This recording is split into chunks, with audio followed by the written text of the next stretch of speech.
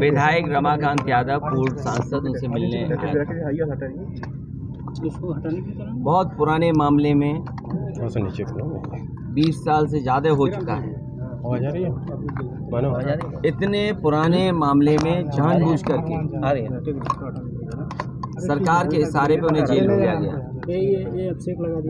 और लगातार चीकू तो कहाँ के लिए क्या उनके ऊपर झूठे मुकदमे। सरकार के इशारे पे लगाए जा रहे हैं।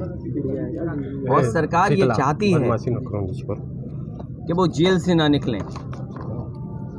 देश में जो दिखाई दे रहा है पता नहीं भारतीय जनता पार्टी क्यों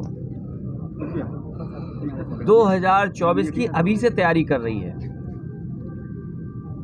ये विपक्ष के लोगों पे झूठे मुकदमे लगाना उनके ऊपर प्रशासन से गलत कार्रवाई कराना ये 2024 की तैयारी कर रहे हैं।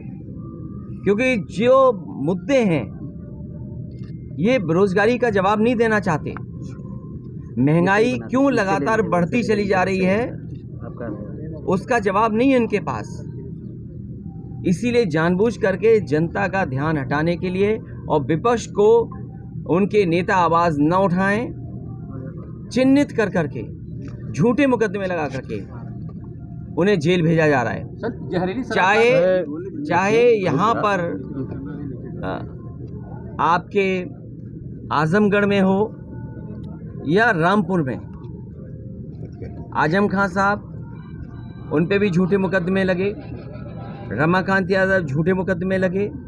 केवल दो नेता नहीं और भी प्रदेश में तमाम नेता हैं जिनके ऊपर झूठे मुकदमे लगा करके सरकार ने जेल भेजा है। याद कीजिए चुनाव से पहले एक इत्र व्यापारी पर छापा मारा था।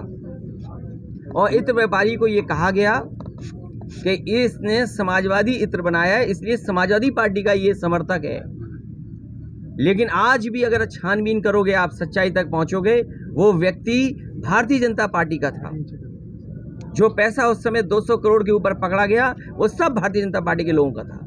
लेकिन प्रोपोगेंडा, प्रचार झूठा उसके माध्यम से इन्होंने ये प्रचार किया। किसी पे भी मुकदमे लग सकते हैं। आप बताइए दिल्ली में? आप ये बताओ जिनसे टक्कर लेनी उन्होंने कोई एक ऐसी सड़क बनाई हो जिसमें खुद हवाई जहाज़ से उतर गए हो तो। आप बताओ इसका जवाब है आपके पास? अखिलेश भैया। हमारे पत्रकार साथी अब गूँगे हो गए। मैं पत्रकार साथी से पूछना चाहता हूँ जो जवाब मांग रहा है हम लोगों से वो बताएँ कि उन्होंने कोई अपनी ऐसी सड़क डिज़ाइन की हो बीजेपी ने। खुद। बुंदेलखंड डिज़ाइन की हवाई जहाज़ तो नहीं उतर पाया ना उसमें। ये डिज़ाइन थी समाजवादियों की इसलिए हरकुलस उतर गया इसलिए प्रधानमंत्री उतर गए। हम ये पूछना चाहते हैं कि क्या बीजेपी ने ऐसी कोई डिज़ाइन की सड़क खुद जिसमें खुद का हवाई जहाज़ उतर गया हो? और आपको पूछना चाहिए कि आजमगढ़ का एयरपोर्ट बन के तैयार है। अब इसको हम खुशकिस्मती समझें या अपना दुर्भाग्य समझें समाजवादियों का गढ़ माना जाता है इसीलिए नहीं चालू हो रहा है एयरपोर्ट। उन्हें डर ये है कि जैसे ही एयरपोर्ट चालू होगा समाजवादी लोग आ जाएँगे इसमें उतरने लगेंगे। इसीलिए चालू नहीं कर रहे हैं। मनीष सिसोदिया पे कार्रवाई हुई सर ईडी की क्या कहेंगे उन पे भी शराब की गर्दी? ये मैं मैं आपसे कह रहा हूँ इस सरकार किसी को भी झूठा फंसा सकती है। आपको डर नहीं लगता? अब क्या डर अच्छा लगेगा? चाचा शिवपाल जी अच्छा, ने बयान दिया था। सर सर चाचा शिवपाल जी ने बयान दिया था कर्ज का क्या मैंने कभी मैं ये नहीं पढ़ता ये चीज़ें। अच्छा सर ये चौबीस की तैयारी को लेके क्या चौबीस की तैयारी ये है। बीजेपी की तैयारी ये है कि विपक्ष को जेल भेज दो नीतीश झूठा फंसा दो नीतीश- झूठा प्रोपोगंडा कर दो। लेकिन एक उम्मीद जागी है बिहार से। बिहार में सुपड़ा साफ़ होने जा रहा है बीजेपी का। ये घबराई हुई है बीजेपी। अगर हवा बिहार में ऐसी चलेगी तो उत्तर प्रदेश में भी समाजवादी लोग तैयारी करेंगे जिससे यहाँ भी भारतीय जनता पार्टी का मुकाबला तो करेंगे। सर विपक्ष यहाँ भी एक हो सकता है सपा बसपा फिर एक साथ आ सकते हैं क्या?